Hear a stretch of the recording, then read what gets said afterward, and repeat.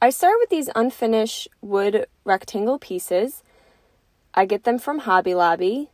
They come in a pack and I paid about $3.99 for them. I started by painting all of them with dried thyme from Wise Owl Paint and I did seven. I then used some unfinished Dollar Tree letters and I painted the word harvest using Wise Owl Black.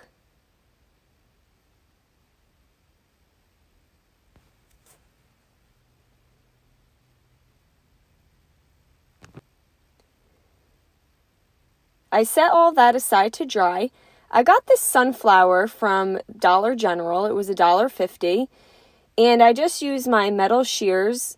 Um, I also have some bolt clippers that probably would have worked better, and I just took the stake off of the sunflower. So then I had to glue the center of the sunflower back on. So I did that using some E6000. And of course, if you can find a metal sunflower where you don't have to remove anything, that would be great. I got these metal corn stalks. I'm sure you've seen these at the Dollar Tree. And I cut them about an inch below the green leaves. And then I took some E6000 and I glued the two pieces together. And I allowed that to dry for a few hours.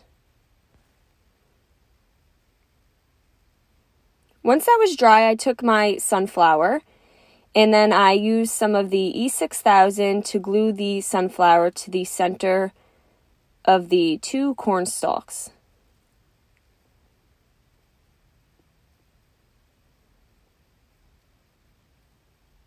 And then I allowed that to dry too.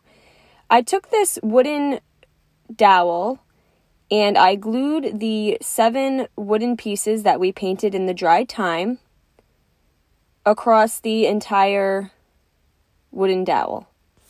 I did have to trim it, and this is also when I used my bolt cutter. And then I took all of the letters that we had painted and I glued those to the front of each rectangle. And I used some hot glue.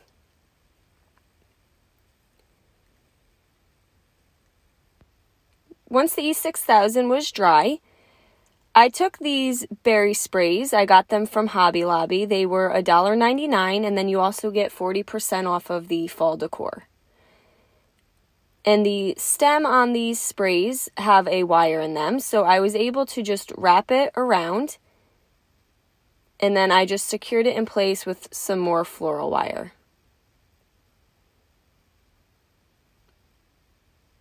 And I did the same to the left side. I'm just wrapping it around one of the leaves and then using some of the green floral wire to secure it in place. And you can hide all this wire underneath the metal leaf.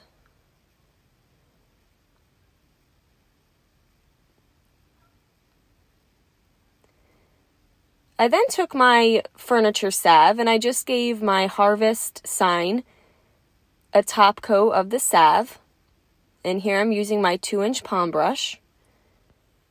And then I just took a white cotton sock to just rub in the salve. I'm then going to need two pieces of jute.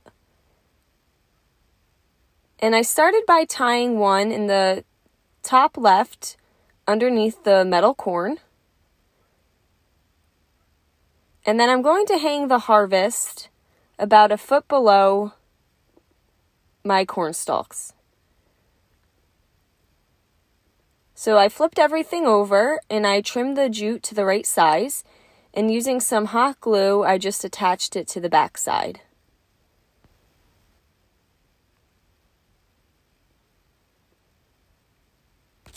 And I did the same thing to the other side. And now you can put some wooden beads on these hangers, you can use some ribbon, but I just went with the plain jute. And then I just tied a small piece of jute to the back of the sunflower, and this is going to be the hanger. And there we go. Now we just have this harvest wall hanging. Guys, thank you so much for watching. Paint products can be found on our webpage at chalkitupfancy.com. And don't forget, you can check out some other tutorials over on our YouTube or our webpage. Have a great day.